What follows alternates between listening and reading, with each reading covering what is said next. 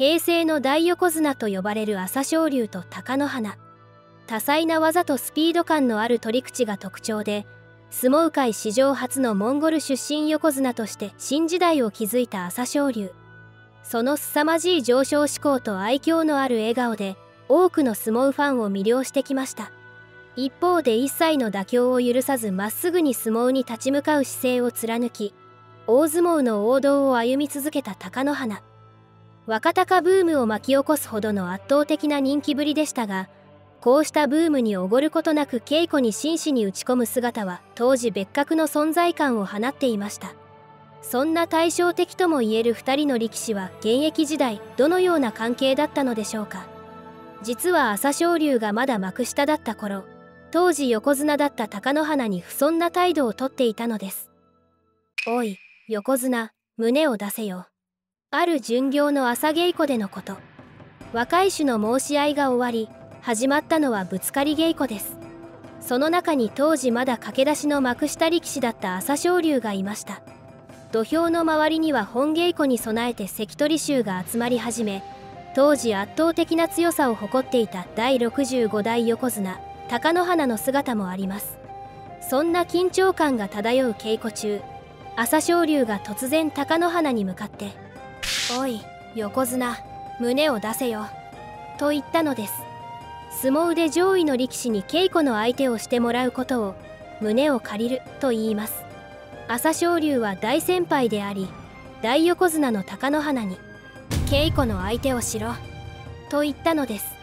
その振る舞いは上下関係が厳しい相撲界では考えられないようなとんでもない暴挙。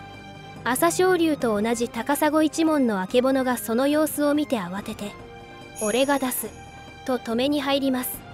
しかし朝青龍は「あけぼのさんにはいつもやってもらっているから違う人がいい」と言い放ったのです。もちろんそんなわがままは聞き入れられるはずもなくぶつかり稽古でぐちゃぐちゃにされてその場はどうにか収まりました。相撲界には古くから一枚違えば家来同然。一段違えば虫けら同然という言葉があります。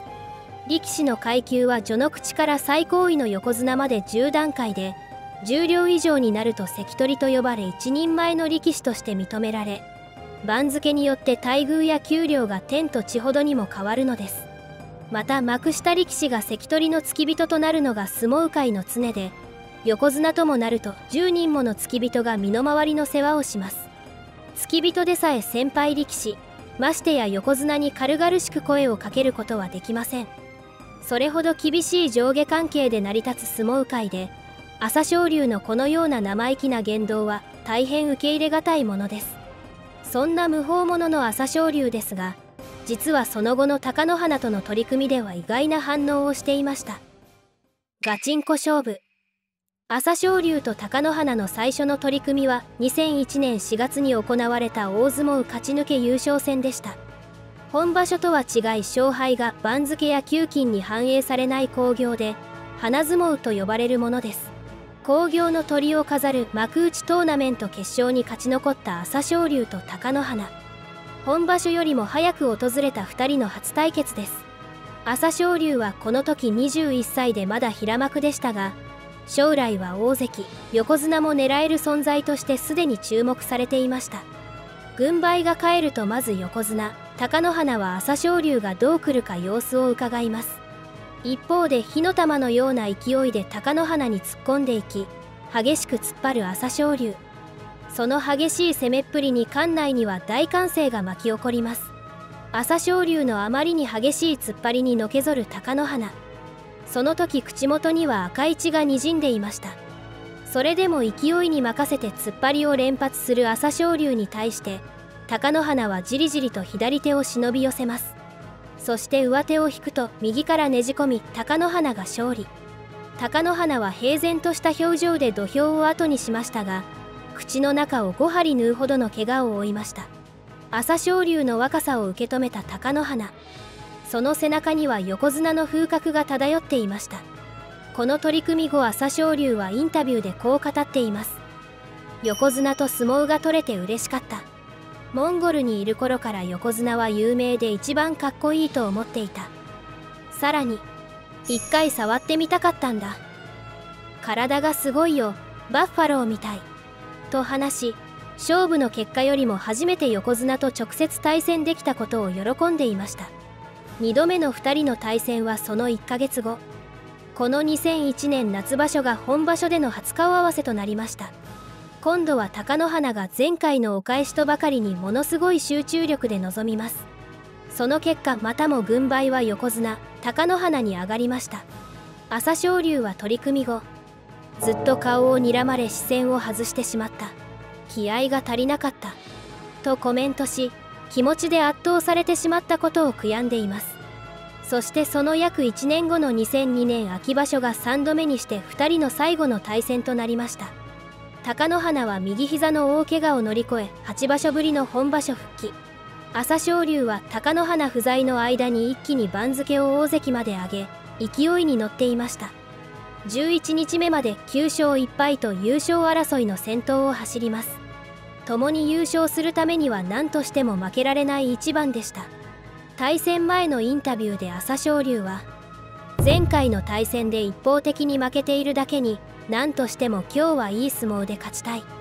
自分にとって非常に大事な一番だ。と気合十分なコメント。対する貴乃花はいつものように落ち着いた様子で土俵入り。そして大横綱と新大関の一番は立ち合いからまたも激しい展開となります。朝青龍が激しく攻めるもそれを真っ向から受けて下がらない貴乃花。途中貴乃花は朝青龍を叩きつけようとするも逃げられます。そして貴乃花が上手を取りますが朝青龍はもろ差しの形。貴乃花は怪我をした右足で懸命に踏ん張り続けます。さらに朝青龍が右足を引っ掛けて外掛けを決めようとするも貴乃花には全く効かず。最後は右からの上手投げで朝青龍が土俵に叩きつけられました。朝青龍はあらゆる仕掛けを講じましたが貴乃花に完敗。期待を裏切らない熱い戦いぶりに両国国技館は大歓声に包まれます。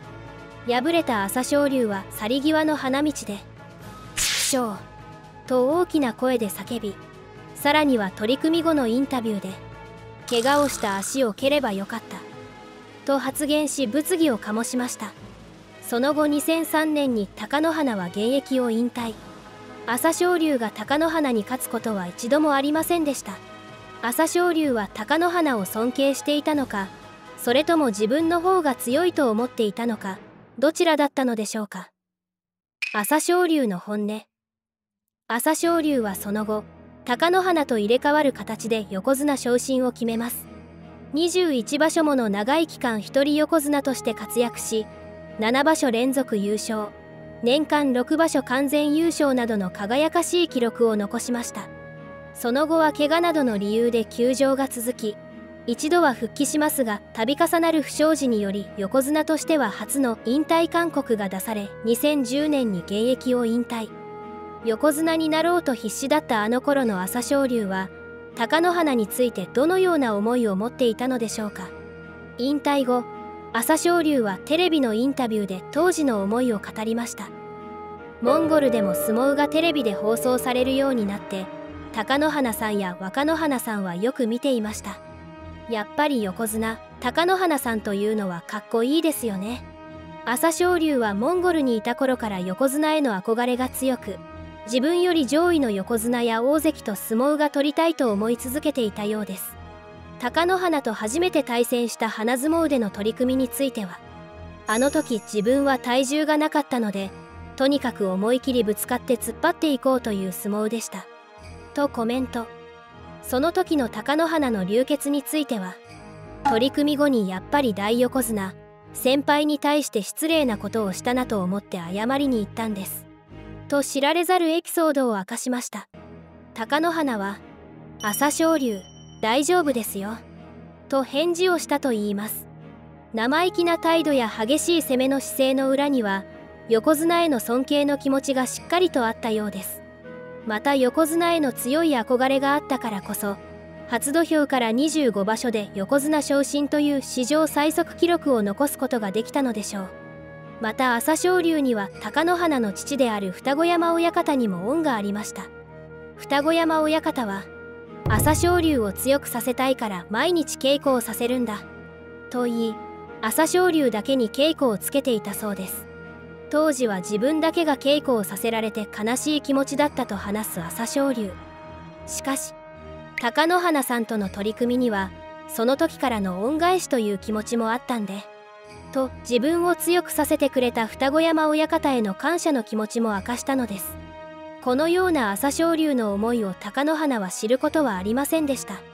貴乃花がこの思いに気づいていれば何かが変わっていたかもしれません。